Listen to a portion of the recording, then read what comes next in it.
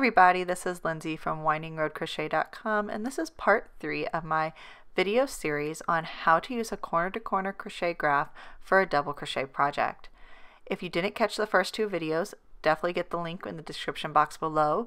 The first video we will talk about uh, the difference between corner to corner crochet and double crochet and how your projects will turn out. The second video we go over gauge and how to get your project to turn out the exact same size as the project was intended to come out. In this video, I'm showing you how to prep your graph so you can work from a corner to corner graph for the double crochet and make your project go smoothly. And then the very last video, I'm doing a time lapse of this flamingo project and giving you lots of different tips and tricks to make your project go easier. Let's go ahead and take a look at our graph. Now you can get this exact same flamingo graph on my blog post for this tutorial and you can download it and there's a link in the description box below for that. Now we've already went ahead and figured out our gauge for this pattern. We printed out our graph. You're going to need a ruler and a pencil in order to make some adjustments. As discussed in the previous video, our formula for converting this from a corner to corner graph to a double crochet graph is every square is going to equal two double crochet. Now to represent this on our graph here, we are going to take our ruler and our pencil and draw a neat line in between every square vertically. So after we've added extra lines to our graph, our next step is going to be writing the basic pattern for this project without taking the color changes in mind. So the first thing we will do is find out our starting chain. Now we have 11 squares along the bottom here and we know that every square is going to have two double crochet. So we will take 11 times 2 and we know we need 22 double crochet for each row. And then we will need our turning chain. Now Turning chain is personal preference. I prefer to use a chain 2 as a turning chain for a double crochet, but at the same time, I do not count my double crochet as my first stitch. You can adjust this for whatever works for you. But for me, my starting chain is going to be chaining 24. Then for row 1, when I write out row 1, I know I'm going to double crochet into the third chain from the hook and in every chain across, which is going to give me a total of 22 double crochet. Then the rest of our rows will be exactly the same.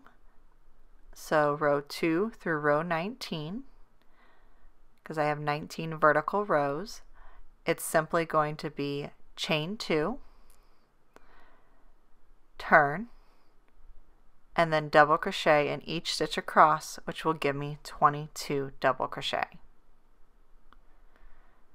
This seems like a really simple step, but it just helps you from getting confused. It reminds you how many stitches you're supposed to have because in case your count becomes off somewhere, you'll be able to go back and fix it a little easier. Another nice little trick to keep you from getting confused while working this graph is to mark at the beginning of each vertical row showing a little arrow showing which direction you are going to be working that row. So my odd rows, I'm going to be working, I'm always going to be working from the right to the left because that's how I crochet, but on the pattern, I'm going to be working from right to left and on my even rows from left to right. That way you won't get confused in the middle of your rows which way your pattern's supposed to go.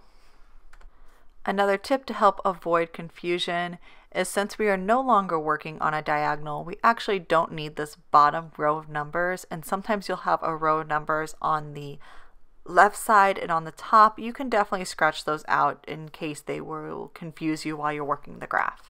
Now before we go row by row and write out the color changes, let's take a quick look at some situations where we might actually change the colors of a certain stitch. So here I have a rather steep mountain and working at corner to corner crochet requires me to take these really big steps. Now, if I was working this as a double crochet, because there are two double crochet for every square, I have the ability to improve the angle of this little mountain here. So what I would do is go ahead and add a few extra double crochet in the green right here on top of these steps. So where it's jumping up two squares, I'm just going to work basically half of square, which is something I can't do in corner to corner crochet, but in the double crochet, as I said, I can improve this to give us a nicer looking mountain. We don't have any examples of this in the flamingo example, but I just wanted to give you some ideas that you're, of course, not stuck with what you see. You can always make improvements to the graph when you're working double crochet. So the next thing we're going to do is we're going to actually write out the pattern for our project using the color changes. And this is pretty commonly done with corner to corner crochet as well. The first thing I'm going to do is write a key off to the side. I'm using B for blue, Y for yellow, P for pink, and L for black. And I'm going to use this to indicate how many double crochet in each row I am going to be working in a specific color. So if you look at row one, you'll see that it's all blue. It's down at the bottom. Remember, we're working bottom to top. And I'm going to go ahead and write out a few of my rows to make this easier so we can move through it a little faster. So starting with row one, row one is all blue. So I'm going to put 22B for all blue. For row two, again, we're coming back from the left to the right. We're going to have eight blue double crochet. There's four squares, so there's going to be eight double crochet. We're doing four yellow double crochet, and then we're doing five or 10 blue double crochet, five squares. Now moving up to row three, we're moving from the right to the left. And this is the reason, since we're changing directions each time, this is part of the reason it's really nice to go ahead and write out your pattern. It also gives you a really good chance to kind of consider where you're going to have color changes. So for example, when I reach row 5, I see that there is yellow in two different places.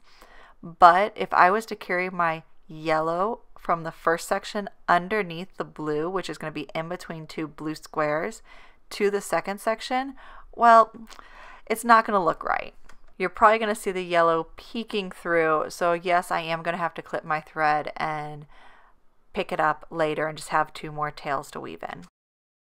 So I'm going to go ahead and speed this up, but the idea is you're just going to be putting a number and a letter indicating the number of stitches you're going to do with that color and continue to work yourself back and forth. This is a really great step not to skip because it's definitely going to help keep you organized when working this pattern. So now that we have our graph adjusted, we have our key, we have our pattern written out, both the basic pattern and the color change pattern, we are all ready to go ahead and get crocheting on this project. I really hope you've liked this video series so far. If you have, definitely make sure to give it a thumbs up as well as subscribe to my YouTube channel for more video series like this. And check out my next video, a link will be in the description box below, where I will actually do an entire time lapse of this project as well as share Lots of tips and tricks about carrying yarn, about making your project look really nice and go really smoothly.